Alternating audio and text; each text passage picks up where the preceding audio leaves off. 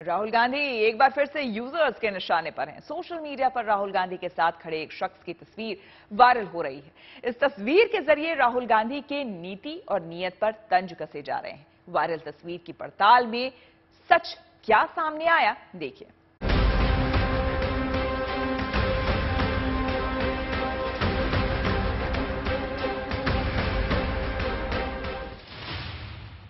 इसी साल मार्च में चीन की संसद कही जाने वाली नेशनल पीपल्स कांग्रेस में ली कियांग को अगले पाँच साल के लिए चीन का नया प्रीमियर चुना गया। चीन में अब उनकी भूमिका, राष्ट्रपति शी जिनपिंग के बाद दूसरे नंबर के नेता की है। इस बीच सोशल मीडिया पर एक तस्वीर वायरल हो रही है, जिसमें कांग्रेस नेता राहुल गांधी के साथ हाथ मिलाते हुए दिख रहे एक शख्स को ली कियांग बताया जा रहा है। इसे शेयर करते हुए कुछ लोग ऐसा कह रहे हैं कि ली कियांग राहुल के पुराने दोस्त हैं और चीन का प्रीमियर बनने के बाद उन्होंने भारत के प्रधानमंत्री नरेंद्र मोदी के विरोध में बयान दिया है। हाल के दिनों में राहुल गांधी लगातार सुर्खियों में रहे हैं।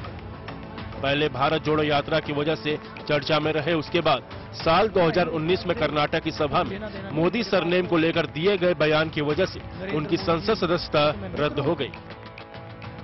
इन सब के बीच इस तस्वीर का वायरल होना दावे के सच और झूठ का पता लगाने के लिए गुड न्यूज़ टुडे की फैक्ट चेक टीम ने अपनी तहकीकात शुरू की। सबसे पहले तस्वीर को गौर से देखा गया। तस्वीर में राहुल गांधी क्लीन शेव में नज़र आ रहे हैं। आँखों पर चश्मा भी है।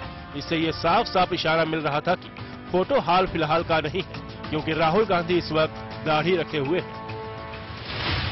रिवर्स सर्च करने पर वायरल तस्वीर एक आधिकारिक वेबसाइट पर मिली। इसके साथ दी गई जानकारी के मुताबिक ये तस्वीर 26 अक्टूबर 2007 को बीजिंग में खींची गई थी और इसमें राहुल गांधी के साथ दिख रहे शख्स उस वक्त के चीन के प्रीमियर वेन जियाबाओ है। तस्वीर फोटोग्राफी की स्टॉक वेबसाइट पर भी इसी जानकारी के साथ मौजूद है। वेन जियाबाओ साल 2003 से लेकर 2013 तक चीन के प्रीमियर रहे थे। राहुल साल 2007 में अपनी माँ और तब की कांग्रेस अध्यक्ष सोनिया गांधी के साथ चीन यात्रा पर गए थे। साफ़ है, वायरल तस्वीर में राहुल के साथ दिख रहे शख्स ली कियांग नहीं, बल्कि वेन जियाबाओ है। चीन में प्रीमियर का पद बेहद अहम होता है, और उसे चीन के राष्ट्रपति के बाद दूसरा सबसे ताकतवर पद माना जाता है। अगर चीन के प्रीमियर ली कियांग ने भारत के पीएम मोदी के खिलाफ कोई बयान दिया होता तो ये खबर सुर्खियों में होती। लेकिन हमें ऐसी कोई खबर नहीं मिली, जिसमें ली कियांग ने मोदी को भारत में सत्ता से बेदखल करने की बात कही। तिरसठ साल के Li Qiang Shanghai Communist Party के चीफ रहे और उन्हें शी जिनपिंग का करीबी माना जाता है।